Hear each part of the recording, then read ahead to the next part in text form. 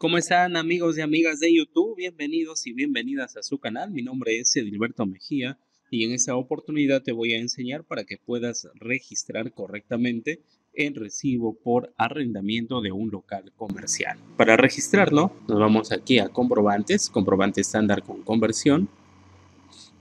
Numeración automática, le vamos a decir que sí y vamos a registrar en el subdiario 31 la fecha del comprobante, antes de registrar aquí es preciso realizar una breve explicación indicando lo siguiente. Vamos a dejarlo ahí y decimos lo siguiente. Como punto número uno vamos a indicar si es que este alquiler proviene de una persona natural o proviene de una persona jurídica. Si es que proviene de una persona natural, entonces la persona natural o arrendador o dueño tiene que emitir el formulario, ya sea físico o virtual, número 1683. Y aparte de ello, lógicamente, tiene que realizar su declaración y su pago mensual del impuesto a la renta de primera categoría. Y también realizar su declaración anual del impuesto a la renta de primera categoría. Como persona jurídica, sabemos que las personas jurídicas son las empresas y estas empresas realizan netamente actividad de tercera categoría. Por lo tanto, si es que el arrendador es una persona jurídica o una empresa, tiene que emitir factura por el alquiler de ese local. Bien, entonces adicional a ello, ya sea persona natural o persona jurídica, se tiene que realizar un contrato que es de naturaleza civil, lógicamente, y ese contrato se realiza entre el arrendador o dueño y el arrendatario o inquilino. Este contrato, una vez que se realiza, es firmado por las partes en mutuo acuerdo, tiene que ser legalizado notarialmente, es decir, tiene que ir a un notario público. ¿Y por qué tiene que ser legalizado notarialmente, con el objetivo de dar fe, con fecha cierta lógicamente, desde qué periodo se inicia el alquiler o el arrendamiento de ese local comercial. Por lo tanto, tenemos una fecha cierta para poder deducir esos gastos como gastos deducibles para la renta de tercera categoría. Bien, como punto número dos tenemos la fecha de inicio. ¿Inicio de qué?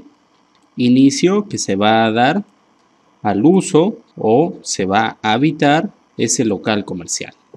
¿Desde qué fecha vamos a iniciar a utilizar ese local comercial? Y aquí ocurre lo siguiente. En esta fecha inicial ocurre, en muchos casos, que existe una garantía una garantía de alquiler. Y esta garantía de alquiler, como su nombre lo indica, garantía otorga al arrendador o al dueño del local que al término de este contrato su local esté en perfectas condiciones. Es decir, tal y como lo entregó, llega el término o fin del contrato y ese local debe estar en las mismas condiciones. Si es que no está en las mismas condiciones, ha sufrido algún desperfecto, entonces el arrendador puede ejecutar esta garantía y con esa garantía puede reparar los daños ocasionados al inmueble. Ese es el objetivo de esta garantía. Si es que el local al término del contrato no ha pasado absolutamente nada, se entrega en las mismas condiciones, entonces el arrendador está en la obligación de devolver al arrendatario o al inquilino el importe que corresponde a esa garantía por el alquiler. Bien, y adicional a ello, como se trata de un gasto, al inicio, vamos a suponer que aquí es el 01 de mayo, 0105, se da inicio a este contrato, por lo tanto, hemos pagado durante un mes hasta fecha 31 de mayo o 3105. Por lo tanto, indicamos lo siguiente.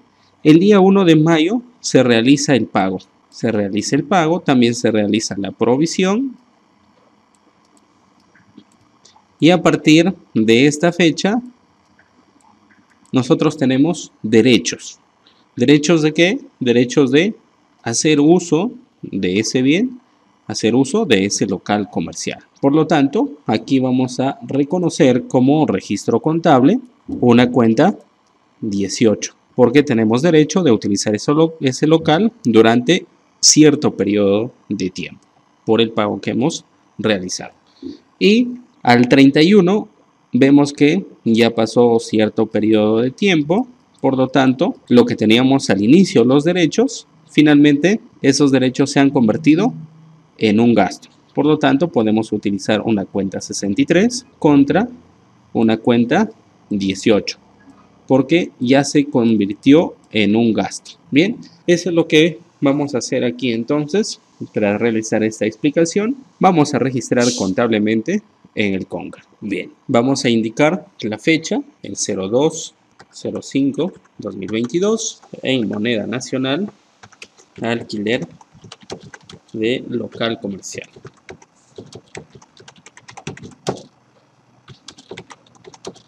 Mayo 2022. Y aquí, como les indicaba, vamos a registrar primero los derechos que tenemos para usar ese local comercial durante cierto periodo de tiempo. Y la cuenta que vamos a utilizar es la 183 siempre nos ayudamos si estamos en el CONCAR con Shift F1, en todo caso revisando nuestro plan contable general empresarial. Aquí está, alquiler pagado por anticipado. El anexo, en este caso, ingresamos el RUC o DNI del arrendatario o del dueño o del propietario.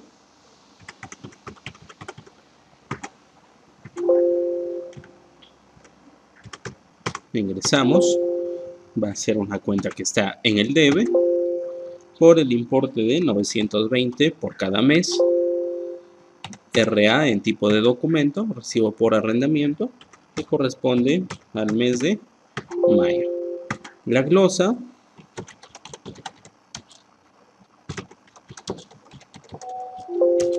Bien. Y si es que tenemos el tema de la garantía, ya les indicaba que esa cuál es la finalidad, ya les indicaba cuál es la finalidad de esa garantía podemos utilizarlo la cuenta 1643 porque en el futuro lo vamos a solicitar la devolución. Y aquí podemos registrarlo al inicio del contrato lógicamente garantía por alquiler de oficina. Está en la cuenta de activos porque si es que el local se entrega en las mismas condiciones al término del contrato tenemos el derecho de solicitar la devolución al arrendador. Bien, por eso se utiliza esta cuenta 1643. Por ahora lo vamos a dejar ahí y vamos a registrar la cuenta del pasivo o la obligación de pago, la cuenta 469. Aquí tenemos otras cuentas por pagar diversas. Ingresamos nuevamente el DNI o RUC del arrendador. Y esto va en el haber.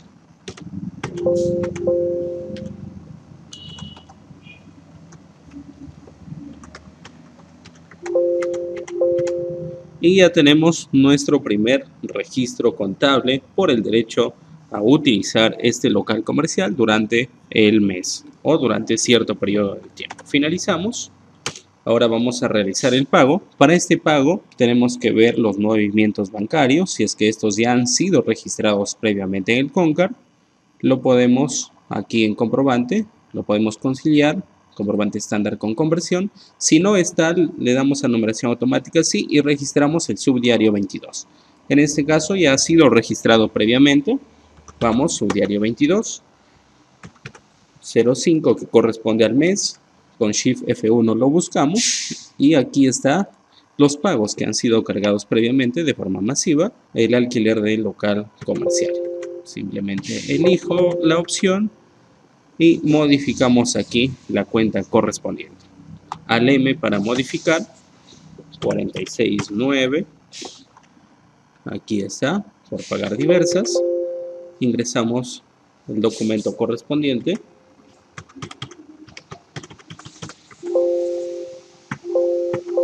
RA y con Shift F1 buscamos. Aquí está,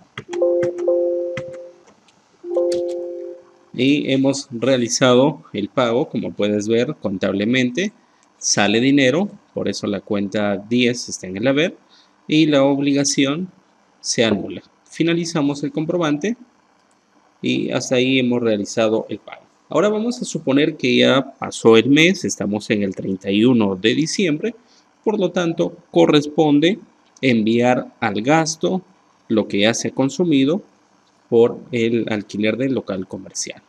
Nos vamos aquí a comprobantes, estándar con conversión, y vamos a utilizar el subdiario 31 y 3105 del 22, moneda nacional, gasto por alquiler de local que corresponde al mes de mayo. Tipo de cambio, vamos a dejarle con V. Y ahora sí, vamos a registrar contablemente las cuentas que corresponde al gasto y la cuenta de gasto en este caso está representado por el elemento 6 específicamente por la 635 con Shift F1 nos ayudamos y aquí está alquiler de edificaciones centro de costos indicaba que es local comercial por lo tanto el centro de costos va a ser para ventas. Va en el debe 920 recibo por arrendamiento.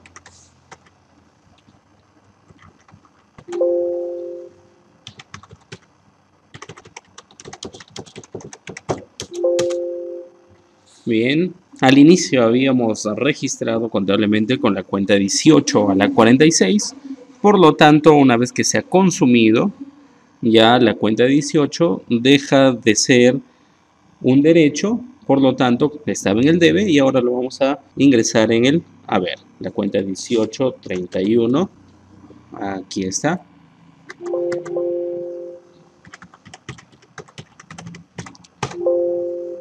pasamos al haber 920 y ya lo tenemos ahí finalizamos. Y ahora sí vamos a generar nuestro reporte para ver en el balance de comprobación o en la hoja de trabajo cómo se está comportando estos movimientos. Vamos aquí a reportes libros y registros libro de inventarios y balances. Y aquí generamos el formato 3.17 balance de comprobación o conocido también como la hoja de trabajo. El mes correspondiente 05, vamos a visualizarlo en pantalla. Aquí lo tenemos. Vamos a la cuenta 18, alquileres pagados por anticipado. Aquí lo tenemos. Primero en el debe 920 como un derecho que se inició el día 1 de mayo y posteriormente realizamos la cancelación el día 31 de mayo. De esa forma, al cierre al 31 de mayo, vemos que no existe ningún derecho para utilizar el local comercial. En cuanto a la cuenta 469, otras cuentas por pagar diversas, también vemos que al inicio estaba en el haber como una obligación, posteriormente en el debe porque ya se realizó el pago y finalmente como saldo cero. Y podemos apreciar adicional a ello el alquiler de las edificaciones que se ha convertido en gasto por el importe de 920. Muy bien amigos, eso ha sido todo en el presente video. Cualquier consulta no duden en escribirnos en la caja de comentarios. Asimismo, si te gustó el video, apóyanos con un pulgar arriba. Te invito también a suscribirte al canal, a activar la campanita para que cuando subamos los próximos videos seas tú el primero en verlo. Nos vemos en el siguiente video tutorial.